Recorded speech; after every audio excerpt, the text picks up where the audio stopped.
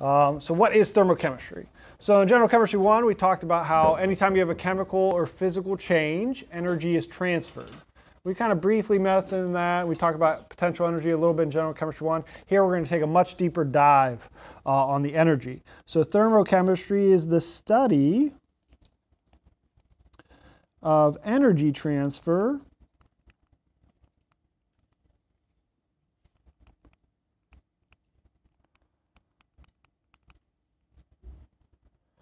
during um, chemical and physical changes.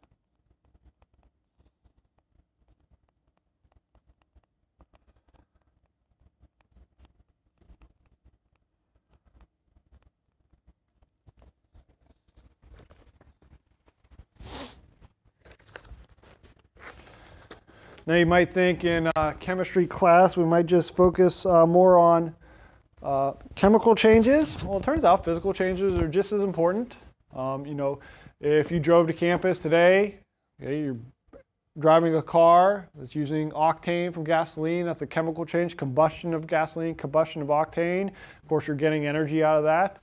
Uh, physical changes, go home, cook dinner, you might boil some water, you're putting energy into that water You go from liquid to the gas phase, and so energy is transferred in both of those settings all the time. Okay? So let's start talking about energy. So if you looked up the definition of energy, okay, used to say look it up in a dictionary, but we know you're not doing that. If you Google what is energy, um, or look it up in your textbook maybe, perhaps, uh, it says something like this. Energy is the capacity to do work.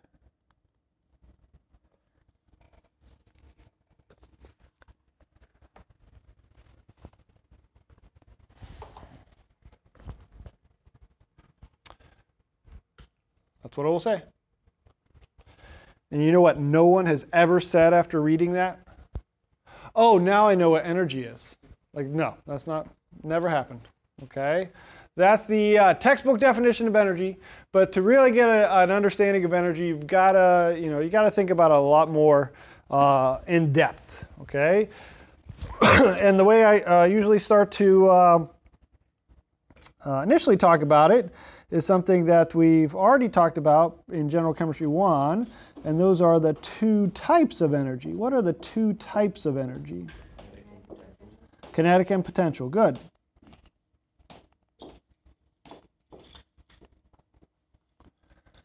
All right, so we got uh, kinetic first.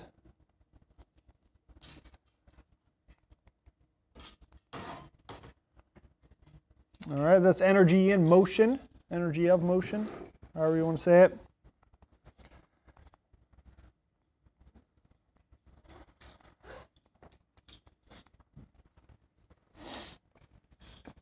And for chemical systems, uh, what's a good measure of kinetic energy? How would we measure the kinetic energy of a system? Hmm. You've got a sample of, say, water. How would we measure how much kinetic energy those water molecules have? Hmm? What's that? Temperature. temperature. yeah. Remember, temperature is a measure of kinetic energy? All right, so uh, that's how we measure kinetic energy at the microscopic level. Um, and so a lot of times in chemistry, we also call this, you know, thermal energy. So thermal energy coming from that, um, so measured by temperature.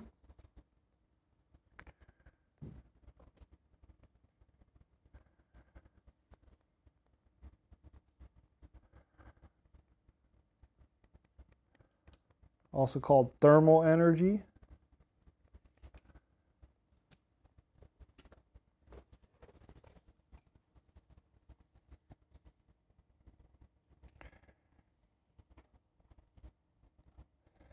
The second type of energy, of course, was potential energy.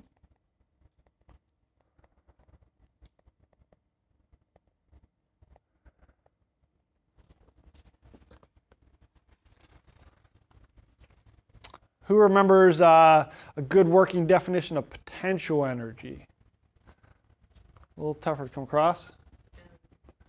Energy based on position. Energy based on position. Perfect. So energy based on position, energy due to position.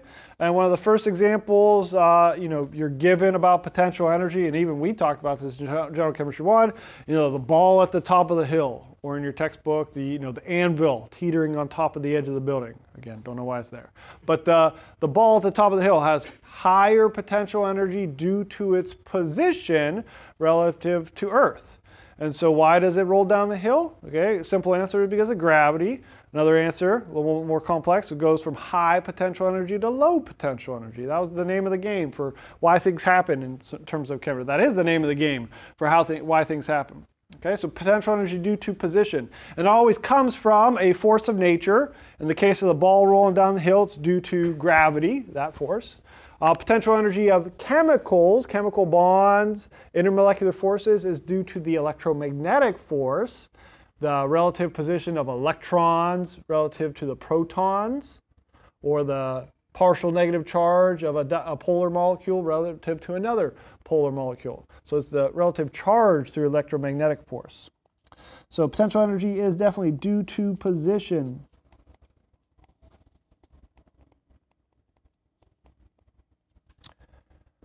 Uh, and a lot of times in uh, chemistry, we'll just say or composition or composition.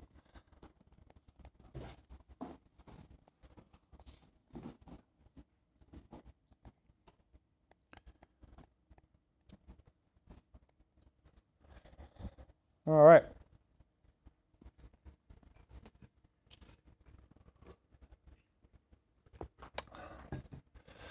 So that gets us a little bit, um, I think, a, a, better picture of what energy is. You know, if you think about it in the two uh, different aspects, kinetic energy, thermal energies, molecules moving around, big molecules moving around, big packs of molecules moving around, that's kinetic energy. Uh, potential energy uh, due to position. But then going back to this energy capacity to do work, how does that play into there? Well, um, to really get a handle of what the capacity to do work means, we really how um, need to talk about how energy is transferred. Again, going back to Gen Chem 1, we learned about the law of conservation of energy. Energy can't be you know, created or destroyed, right? They're going to be transferred, all right? So one way you can do, you can transfer from one type of energy to another or, you know, one form of kinetic energy to another form of kinetic energy. So how do we transfer that energy? All right, and it turns out there's two ways we can transfer energy, and that's heat and work. All right, those are the two ways we can transfer energy. And so let's talk about those. I mean, they're, they're on this slide, so we should talk about them. We should acknowledge them. Okay, if I click to the next slide without talking about it, like, hey, what about heat and work? That's what you, you be clamoring. Okay, so I will talk about them. So the uh, two ways to transfer energy.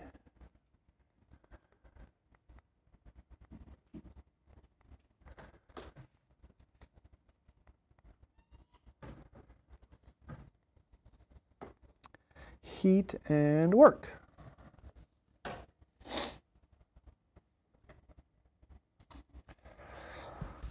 All right, so this heat is just the transfer of kinetic energy. Transfer of kinetic energy, which I'll abbreviate KE, kinetic energy, KE.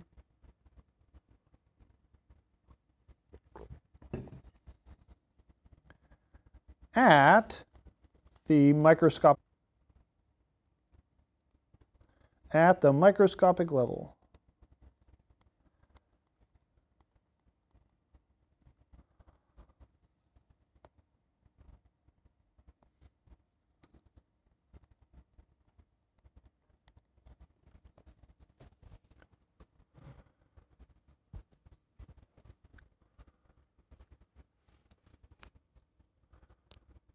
All right, so that can be best explained by just, you know, whether something feels hot or cold. If something feels hot or cold, that means it's either higher kinetic energy or lower kinetic energy than you. Okay, if I place my hand on this tablet, it's, it's pretty warm, okay, a little warm, which actually feels nice. It's kind of cool day. My hands are a little cold, okay? Um, so what, what's going on? It feels warm because the kinetic energy of the molecules in this screen, whatever they are. If this is glass, you think this is glass? Probably plastic. I don't know. Whatever, the plastic or glass, whatever you think it is. I'll agree with you. Okay, those molecules are moving a little bit more. They have a little bit more kinetic energy, they have a little bit more than the, the hand, molecules in my hand. And since they have a little bit more kinetic energy, they're moving a little bit more. They bump into my hand molecules on average more than my hand molecules bump into them. And so guess what? Every time they bump into my molecules in my hand, they transfer some of that kinetic energy. Okay, just like if you play pool. You hit the cue ball into the other balls, um, you know, the, the cue ball transfers the kinetic energy to the other uh, billiard balls. All right. So when we transfer something from, you know, something from hot to something that's cold, all right, we're transferring ener kinetic energy, we say via heat. All right, and we abbreviate heat as the lowercase q. Okay. Lowercase q is heat. So the second um, way we transfer energy is via work. Okay, and this will kind of you know take it back to that uh, energy capacity to do work uh, definition. All right, so what is work? Okay, well, first, we, uh, we make sense here. We didn't make much sense with uh, heat, but we, for work, we abbreviate it with a W. Okay, so sometimes we make sense. So far, we're shooting 50%. 50%.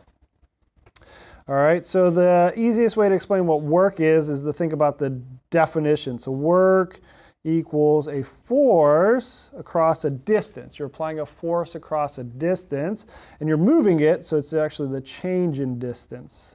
Okay, so that's the Greek letter delta, and we'll use that a lot.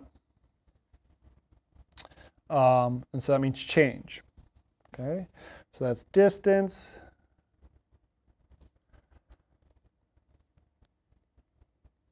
And that's force. Okay, and that's capacity to do work, okay, which is applying a force across a distance, okay. So a good example of both of these is, uh, you know, if you drove to campus today, hitched ride on, on campus, uh, rode bus, okay, most of those are going to be using uh, internal combustion reactions, so they're burning gasoline, burning octane, okay. So that combustion reaction creates a lot of gas, and it's also uh, a lot of heat so the gases um, expand okay, inside the cylinders. They create pressure, which pushes the cylinders inside your engine with some force, and that force moves the cylinders some distance. Okay, um, and so that chemical reaction, one, the, just the expansion of the gas does work. You're taking liquid octane and oxygen and making gaseous CO2 and gaseous water, so producing a lot of gas. So that creates a lot of force. And then that's also transferring heat to the gas, which causes, we know Charles' law, causes increases in temperature, causes gases to expand. And so that's creating some force. So both are going on to move that cylinder uh, a distance, applying a force across that cylinder uh, across a distance. All right, so those are the two ways uh, we can transfer energy.